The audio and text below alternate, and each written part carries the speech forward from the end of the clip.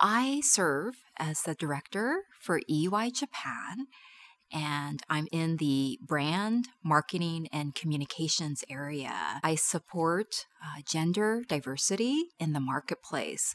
So, EY Japan has two external networks. Uh, one is the Women Athletes Business Network, and the other is the Entrepreneurial Winning Women.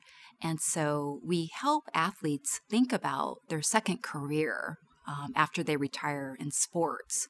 And also uh, for entrepreneurs, we don't help them just start their businesses, but we help them grow their businesses and expand internationally.